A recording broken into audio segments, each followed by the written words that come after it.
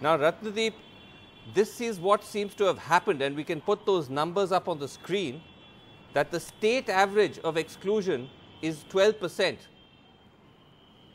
right? But for the border districts bordering Bangladesh, these are districts like Dhubri and so on, the exclusion rate at an average is about 9 percent. So, that is much lower than the state average, while certain interior districts, these are tribal districts, these are what are called Bhuma, Bhumiputra districts, the exclusion rate is higher between 13 to 17 percent. This is what seems to have spooked the BJP, Ratnadeep. But tell me, was this at all expected that they would suddenly release these numbers in the assembly?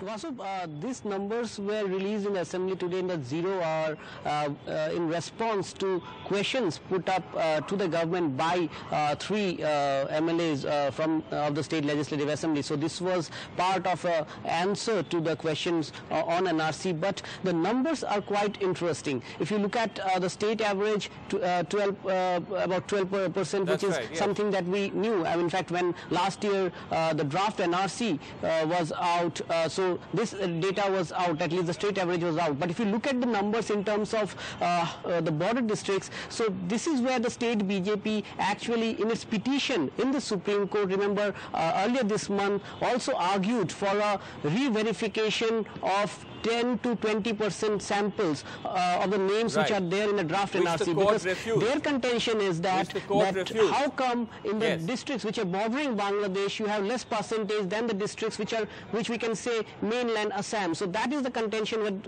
which the uh, BJP-led government both in the center and the state uh, is, is, trying to push. Uh, the Supreme Court however rejected the plea uh, because right. the state NRC coordinator went forward and said that look during the hearing of the claims and objections of the NRC, we have already re-verified 27 percent names. So there's no requirement so of no re-verification. But, but, now the Assam government has put up this right, uh, figures this is, this is something questions on the way. The right, but this is something Ratnadeep. This is something quite surprising and, and shocking, is it not? Because the Supreme, I mean, this was sensitive data, district-wise data, which had been handed to the Supreme Court in a sealed envelope. It was not meant to make its way to the floor of the House.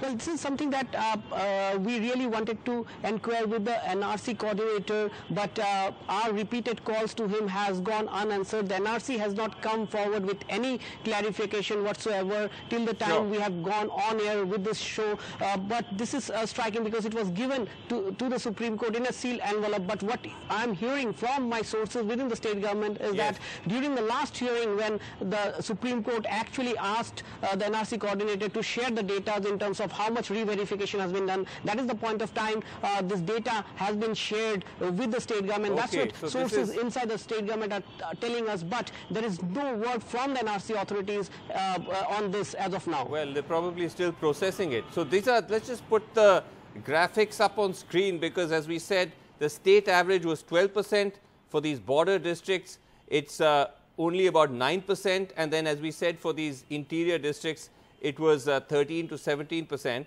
and the interior districts have the highest exclusion rates. In fact, the minority dominated districts are topping the chart when it comes to exclusion, particularly two districts which is Hojai and Darang. They have exclusion rates of between 31 to 33 percent. So, that is you know almost 3 times higher than the exclusion rate, the average exclusion rate uh, for the state. Thanks very much indeed, uh, Ratnadeep Uh, for joining us